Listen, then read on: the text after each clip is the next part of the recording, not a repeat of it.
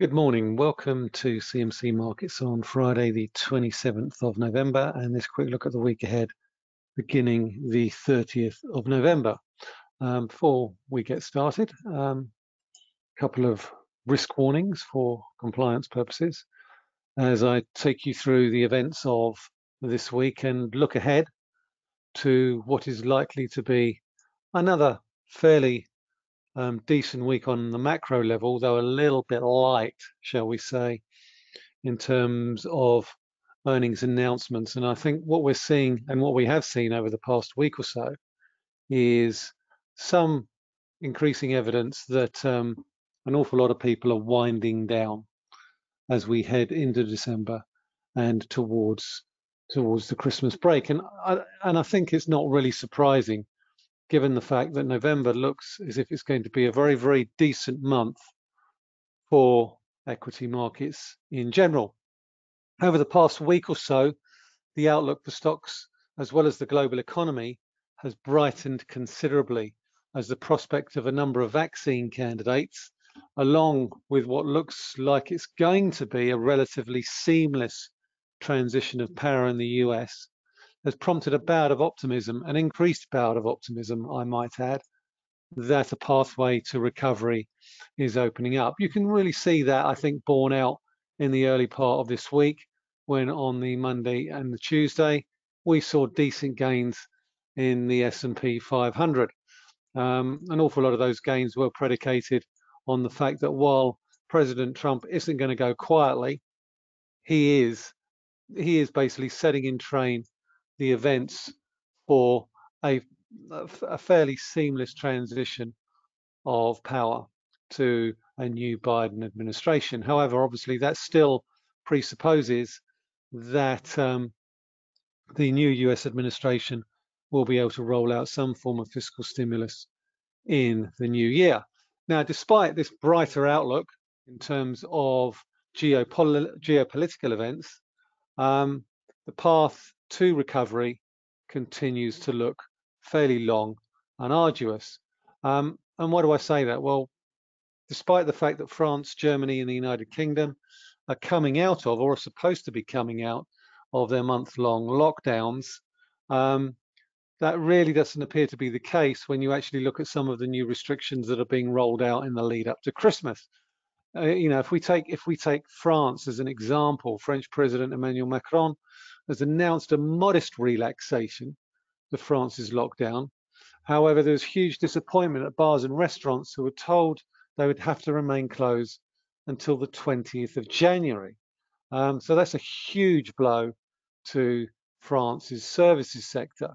Um, so I think while I think there is some justification here in the United Kingdom that um, services, um, bars and restaurants have been put into tier two and tier three restrictions from the 2nd of December, things could also be an awful lot worse given the fact that um, France's bars and restaurants aren't even allowed to reopen. Um, so um, I suppose it really depends on whether or not the glass is half full or half empty. Um, we've had a we've had a new budget from Chancellor of the, the Exchequer Rishi Sunak. Um, precious little in the way of new measures to help businesses, um, particularly hospitality businesses, get through to um, March and the potential for a rollout of a vaccine candidate. Certainly, we've seen an awful lot of what I would call um, tweaks and changes, promises and what have you, with respect to infrastructure, to um, build new roads, new cycle lanes, invest in 5G, invest in broadband.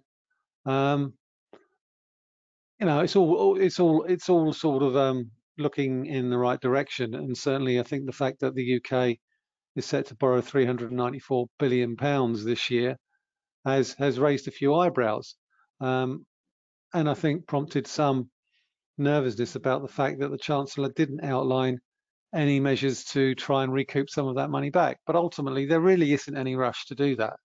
30-year um, gilt yields are around about 0.85, 0.86%, 10-year gilt yields are 0.3%. I think while we're still in the middle of the emergency talking about um, raising taxes and cutting spending, is is a little bit premature when we haven't even hit a recovery stride yet. The time to talk about recouping some of that will be, I think, a year from now, assuming that we get a seamless path to recovery. Um, so what does that mean for stock markets and um, asset prices in general? Well, we we're on course for a fairly quiet end of the week. Volatility has subsided quite substantially in the past three days. We can see that in the form of the S&P here today, um, given the fact that um, the US um, is off on its on a Thanksgiving break in US trading for Friday is only like is only a half day anyway. So we can expect volumes to decline quite substantially as we run into close of play um, today. Um, Asia markets have been much more positive. The Nikkei 225 has continued to make new fresh 29 year highs and certainly I think the momentum on the Nikkei is certainly an awful lot more positive than it is for other markets more broadly. If we look at the Nikkei 225 we can still see that since we broke out above this 24,300 level, it's been pretty much one way apart from a little bit of a pullback there. And we look as if we're probably going to end the year up in up above 27,000 on the basis of current momentum, despite the fact that the oscillator continues to remain very overbought. You know, we have to go back to 1991 um, to find out when the Nikkei was last at these sorts of levels. And let's not forget the all-time highs in the Nikkei are at 40,000. So we still remain some way short of those 1989 um, peaks. So certainly an awful lot potential for an awful lot more upside in the Nikkei 225. The S&P 500 has thus far managed to hold above 3,600. That for me, I think is likely to be a fairly key support level on any pullback. If we drill down into that, we can probably see that uh, much clearer on the basis of this particular four hour chart here. If we go all the way back to the middle of November, we can see that 3,600 was a decent pivot on this candle here and here to a lesser extent in and around these sorts of levels here. But certainly in terms of a round number, I think while we're above 3,600, the line of least resistance for US markets remains towards the upside on any dips lower. The DAX is proving to be slightly more problematic. It is very much underperforming, though not to the same extent as the FTSE 100, but nonetheless, it continues to remain stuck very much below these previous peaks of 13,460.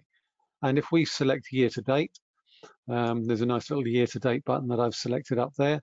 Um, that is a very easy thing to do you can basically just select the month or the indicator column and then select the star option there. You select it and then it drops it into your upper menu here. So you then, whenever you need it, just select it and it will calculate the year-to-date move for you. And as you can see from the year-to-date on the DAX, we've pretty much pulled back all the year-to-date losses on the German market so far this year.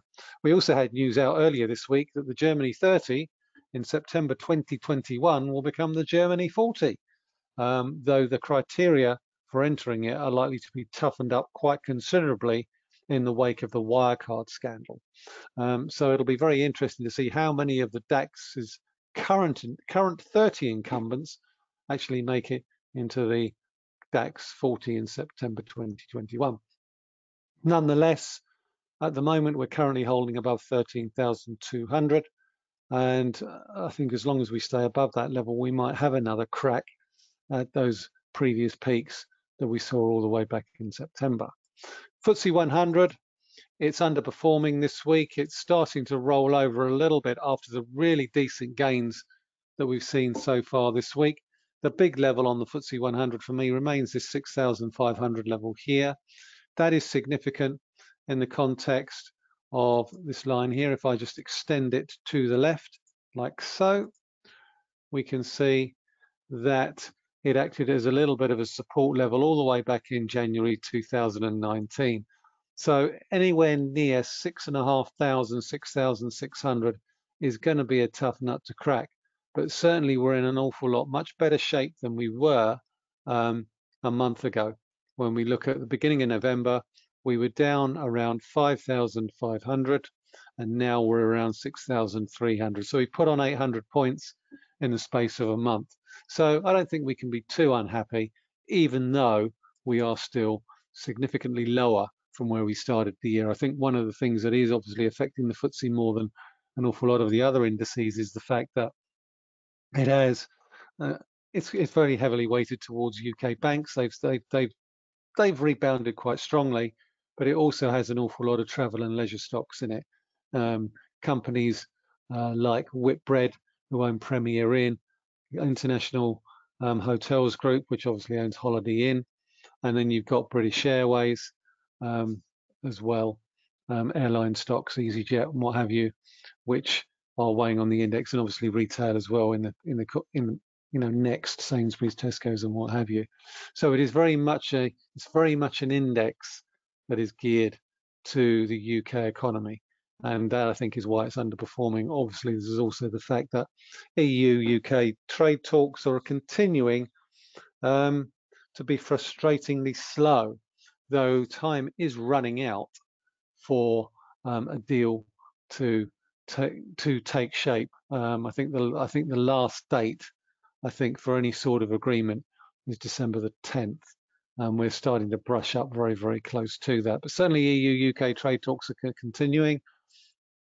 And I maintain that some form of deal will take place. I think there is a risk of an accidental no deal because either side overplays their hand. Um, but I think it's, you know, it, it ill behoves either side to start playing Russian roulette at this late stage. The fact is that we're still going to see probably significant disruption the um, beginning of January, simply because these talks have lasted so long, and any deal that they rush through is going to have to be very, very well. It's going to have to be very, very much so rushed through. Certainly, the performance of the pound suggests that the markets are pricing in some form of deal, and I think the confirmation of that could see a little bit of a pop in the pound, but I don't expect it to go surging massively higher. Um, Euro area has its own particular problems, with Germany also imposing further restrictions throughout December, and that is also causing tensions in Europe all by itself because Angela Merkel is calling for the closure of all alpine ski resorts in an attempt to try and bear down on the rising coronavirus cases that are actually currently um, seeing a resurgence across the euro area. So, um, you know, that's sort of a, a brief précis um, of what we're looking at this week. Quickly go back to the FTSE 100. Um, I think if we break below 62.80, I think there is a risk that we could push to the downside. If we look at the four-hour chart here, we can see that um, there is a little bit of support in and around this 6,300 area, 6,250. I think as long as we can hold above these levels here, then there is potential for um, further gains. Otherwise, we could go for a little bit of a rollover. But overall, I'm still fairly optimistic about um, the prospects for equity markets more broadly. Um, at the moment, the trend is higher, though I am a bit concerned about the fact that we are starting to lose a little bit of momentum on the FTSE index.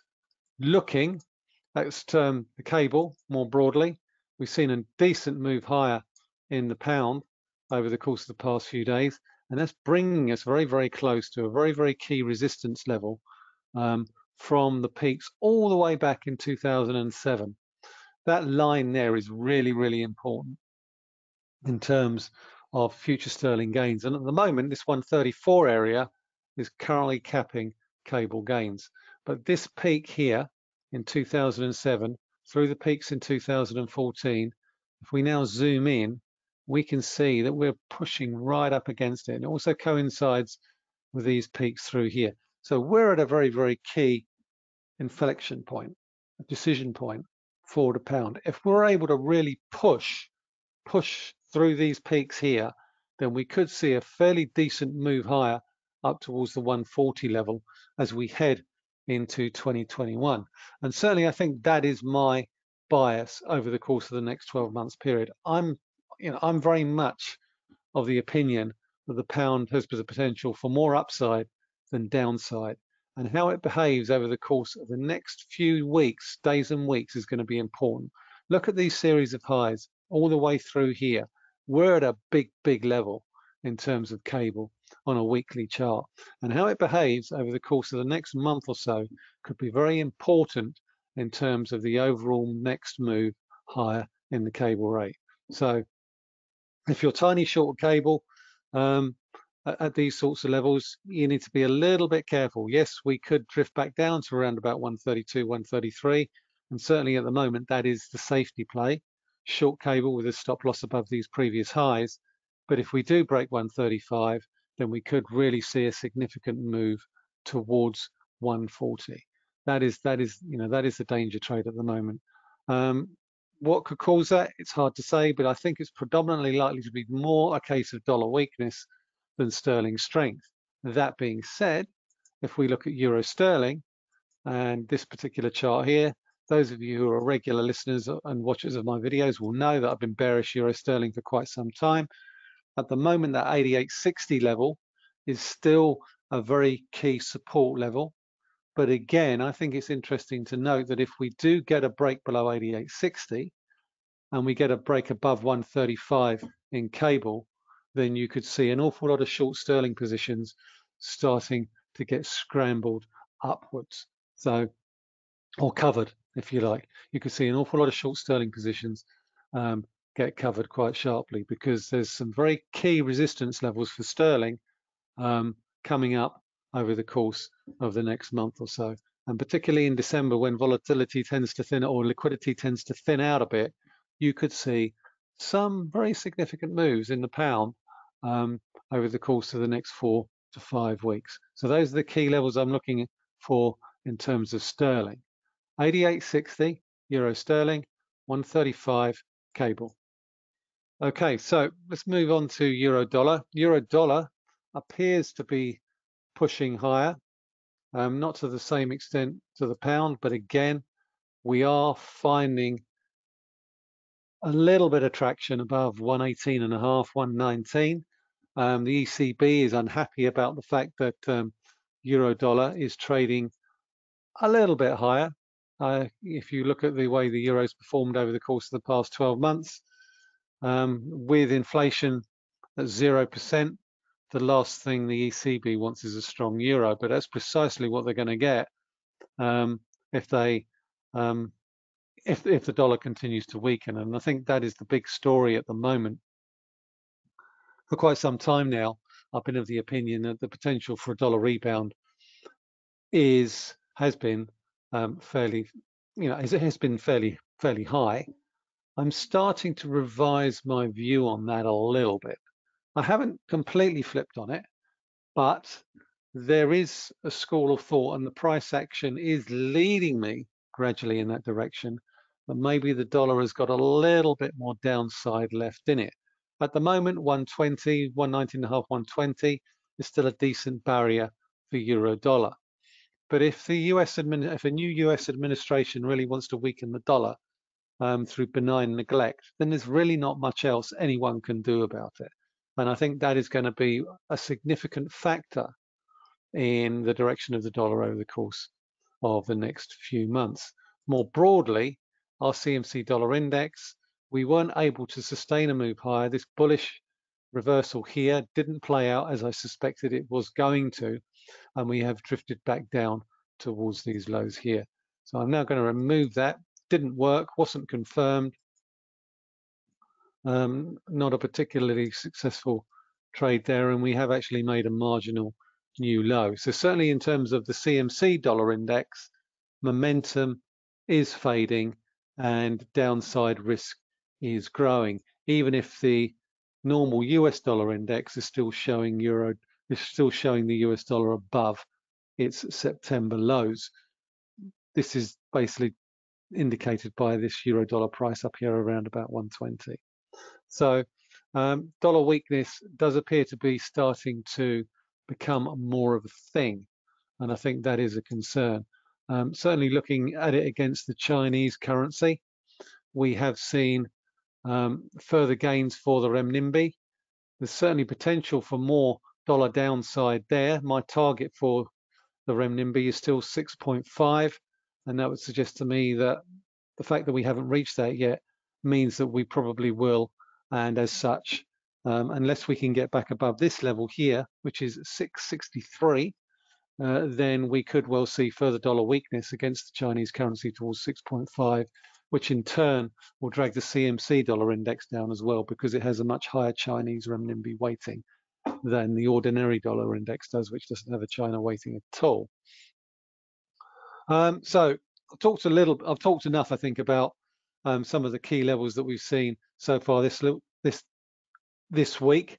We've obviously seen a bit of a sell-off in gold, so I'll quickly cover that for you.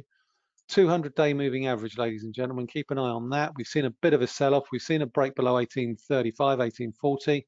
The next key support level lies on the 200-day moving average. So if we break below 1800 and the 200-day moving average, then we could well see further losses in the gold price towards 1763, which will be a 50% retracement of this entire up move from the March lows to the highs that we saw in August. So at the moment, the direction for gold does appear to be um, down towards 1763, but we would only that would only be confirmed on a break below the 200-day moving average. So I'm keeping an eye on that for, for the moment, but certainly the lack of any bounce would appear to suggest we're probably going to see further gold weakness uh, against the US dollar, particularly if equity markets continue to push higher. So looking ahead, um, the key, I think the key benchmark for next week, the key the key event for next week is going to be non-farm payrolls, which is due on the 4th of December. I think one of the most encouraging things that we've seen um, with respect to um, non-farm payrolls in the US labour market has been uh, the improvement in the unemployment rate. We've come down from 14.7% in April to 6.9% in October. Now, this trend is expected to continue in the November numbers with a further decline to 6.7%. Um, now, weekly jobless claims had until two weeks ago been on a downward track they have now started to edge back up again. Um, and that is a worry. Um, what we saw, I think, with respect to um, the weekly jobless claims was that we hit a low of around about 709,000, um, 711,000 two weeks ago. We've since jumped back up to 778. And I think there is a risk that with all the Thanksgiving shutdowns, the lack of fiscal stimulus, that we've probably seen the low point in jobless claims, and we're probably going to start ed edging back up above 800,000 um, a week.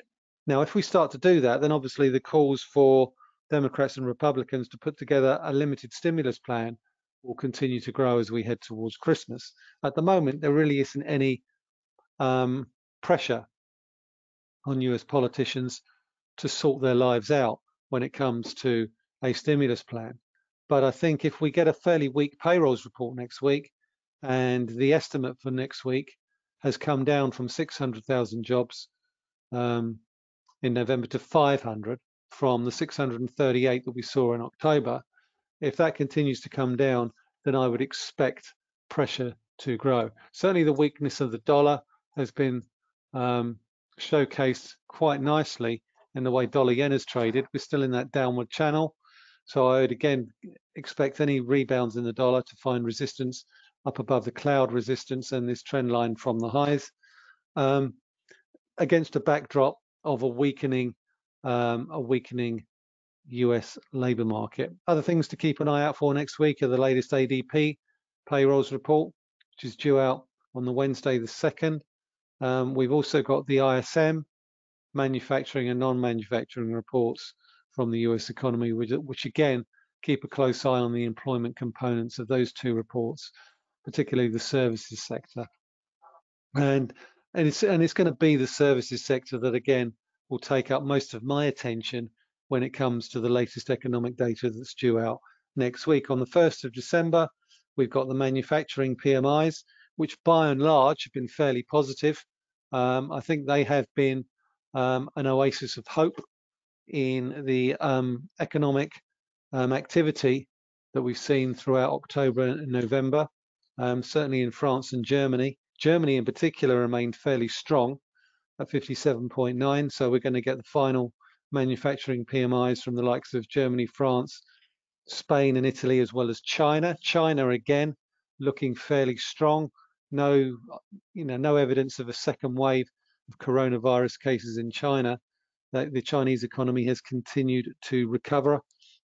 Then on the third, we have European services PMIs, and this is where I think the weak points will continue to manifest themselves. If we look at um, Italy and Spain in particular, there's got to be significant concern about activity there, as well as France, which saw a flash PMI of 38 in its um, November numbers when it reported them last week. That's likely to be confirmed at 38. The fact that bars and restaurants are likely to remain closed until January is likely to weigh on the December numbers as well, which means that the outlook, particularly in countries like Sp Spain, Italy, France, is likely to remain weak. And yet the EU is still arguing about their own fiscal stimulus plan. You really couldn't make it up.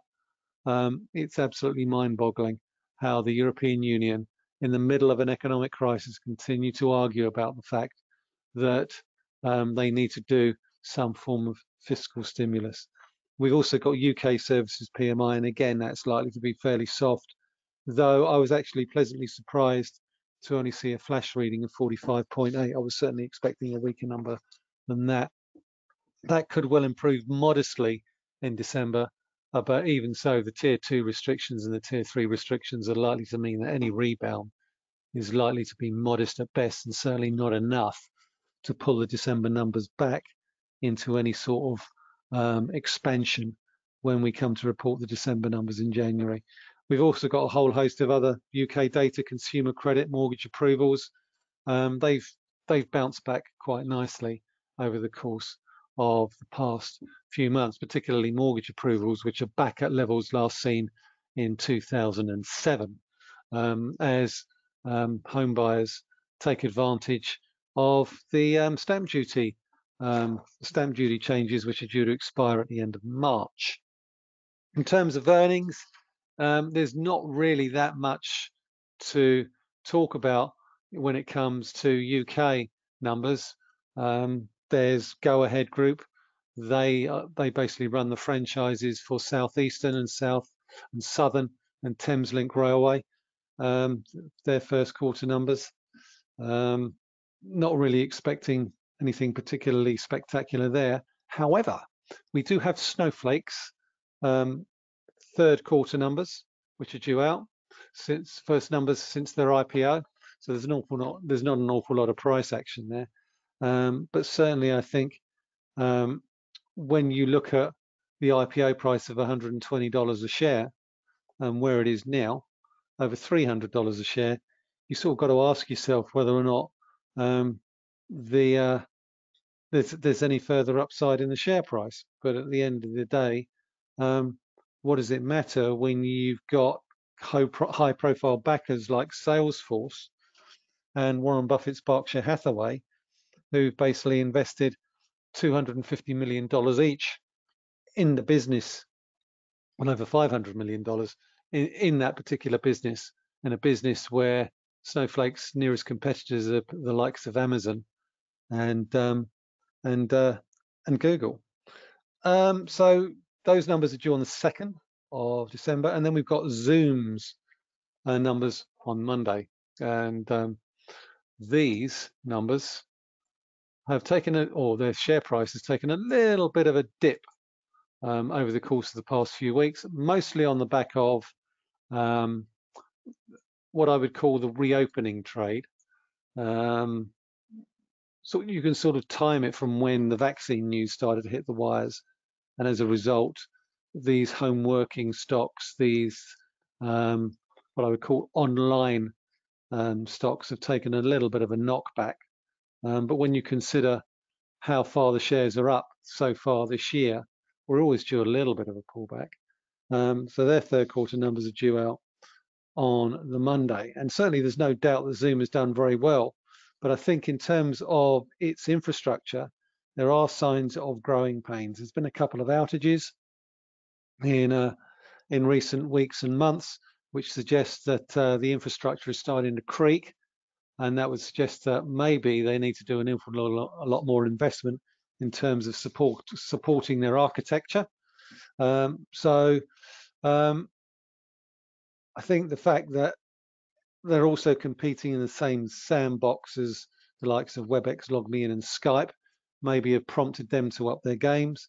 But having said that, profits are still expected to come in around about 75 cents a share.